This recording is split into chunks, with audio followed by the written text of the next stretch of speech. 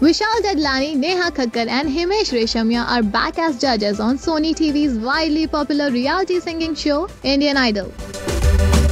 Vishal posted a video showing him walking on the stage of the show alongside Neha and Himesh and wrote on Instagram Dream Team vibes with Neha Kakkar and Himesh. Day 1 of Indian Idol 12. This one is a season of hope and defying all odds to keep the world turning with music. Neha also posted the same video and wrote, We are back. Meanwhile, Vishal shared his smiling photo and wrote, Indian Idol 12 Day 1. Here we go. Wish us luck.